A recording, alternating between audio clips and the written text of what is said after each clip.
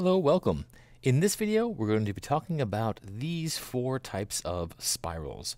And we're going to explain their basic properties, and I'm going to encourage you to think about how to look at them through a numeric modality. In other words, how to make sense of them by thinking of values of theta and r in polar graphs to help you get to a point where you would look at something like this beautiful work from Escher and make sense of it through the lens of these spirals. So Archimedean spirals, let's start by giving the formula. It's r equals k, some number k, times theta. Remember that theta is our input, is how much we're turning in a polar graph, and r is the distance from the pole. So here's our graph. We're starting at the pole, that's the origin, and as we turn, we get further and further away. Our r distance grows, that's directly proportional. You could also observe immediately that, oh wow, look at that. Each spiral seems to be the same distance apart, and it is, and we'll get back to that. So it's a directly proportional spiral, whereas a hyperbolic spiral is not. It's uh, indirectly proportional, inversely proportional. So as theta increases, r decreases. In other words, the more I turn, the more theta is, the less distance I am from the pole. So this actually comes from out here. And as I turn more and more, I get closer and closer to the pole here. And we'll talk about some other basic properties. I'll just point that out right now. And one other thing that the value of k will always be your horizontal asymptote. So you can see that this is kind of flattening out, and it will. It'll flatten out precisely at whatever k is. And there are ways to deal with these graphs. So, okay. Logarithmic spirals, which you kind of saw in that Escher uh, image in the previous slide, they're of the form r equals k to the power of theta, and the idea is that they're close together and they, they kind of spread out as you go along. There is a constant between these spirals, it's just not the same distance, it's some factor you're multiplying by. And finally, Fermat's spiral, k times the square root of theta, notice that this starts off again at the pole, spirals around with big gaps, and then becomes less and less as we go. And I think of that as in connection, to, the square root function.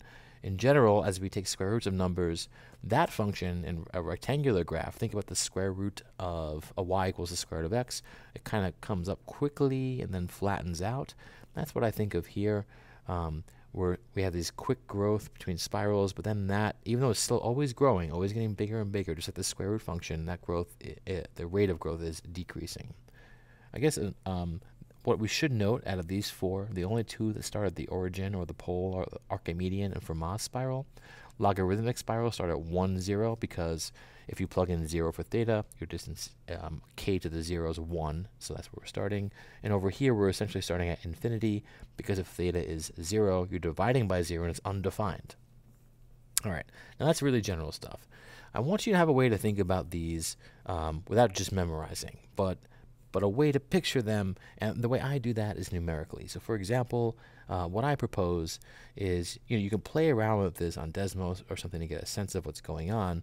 But I really, for me at least, I need to try exact numerical values to make sense of it. So I propose that you play around with r equals 3 over pi times theta. I'm going to hide this other graph right here. Now, the reason for this the reason for this is that it's when you set up a value of k that's over pi, or let's say 2 pi or something with pi, when you take different angle measurements in radians, or in radians, those pi units cancel out. So for example, um, if I want to make sense of this graph, I remember, okay, theta is my input, plug in 0, okay, 3 divided by pi times 0 is 0. So when theta is 0, I start off at the origin. If I plug in pi over 2, the pi's cancel, and I'm at 1.5 right here. If I plug in pi, okay, 3 over pi times pi is 3, and that's exactly what I'm at. And then just 3 over 2 um, times 3, uh, 3 over 2 pi times 3 over pi uh, is 9 over 2, or 4.5, which is what we're at right here, and then we're at 6 at 2 pi, because if you plug in 2 pi over here, right, the pi's cancel, and 3 times 2 is 6. So notice we go 0, 3, 6, 9, 12. We're going up by threes, um, and that's captured here in this k value. It's connected to it. Okay, so I would play around with something like that. Try, you know, try making it over 2 pi to see what happens. Try making it over uh, maybe 6 over pi to see what happens. And again, you'll see it crosses at 6. Make sense of that. Why is that? All right, next, uh, the hyperbolic spiral. I guess we should make it a little bit larger. Okay, so again, this one, right, if you go off, it is starting at an infinite distance away, an undefined distance, and then it kind of comes in and spirals, and it's only going to stop, right, wherever you tell it to stop. In this case, it's at 12 pi. If I did 24 pi, you would see it going ever more, right? So it's a really cool spiral. And as fun as that is, for me, to make sense of this, I want to mess around with it. I want to choose k values that allow me to cross one of these axes here at some integer. So for example, I propose you try just pi over theta. Uh, that will do all kinds of great things to help you understand the curve. If you plug in pi for k, right, think about what has to happen. When Okay, so if theta is 0, it's undefined. That comes from here. However, let's say I did theta equals pi. Sorry, wrong one. This one. if theta is pi, we have pi over pi. It's 1. This is where we are. So notice our distance is 1 here. This represents when theta is pi. So this is when theta is pi over 2. And that makes sense, right? Pi over pi over 2 is just 2. Um, so this is our pi over 2 landmark. This is pi. And you can keep going, spiraling in to make sense of these points. So I encourage you to pick a k value that involves pi, like try 2 pi and see what happens. Um, try 1.5 pi. Mess around with it until you really make sense of it. Okay. Next, I would say on the logarithmic spiral, which you can use to approximate all types of things, including the Escher, work, I, Escher work I was showing earlier. Um, again, as cool as it is to mess around with this, like for example, I love the fact that if you have this, even a value of 2 for k, because you're dealing with powers, as you try to zoom out, okay, let me zoom out to capture more of the spiral, you can never really seem to get much of it, right?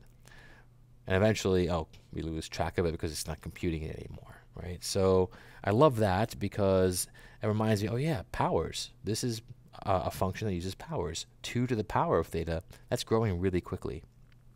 So uh, you, if you want to understand it, you want to use, let's say, numbers like between 1 and 2, right? You can play with negative numbers, but just start with positive k values, and then you can get a sense of what's going on. But that's just general. To get a specific sense for me, I want to I want to make it so I can have it maybe intersect at certain friendly numbers. So what I would suggest is to pick a k value, let's say 5, but set it to a power that's 1 over 2 pi.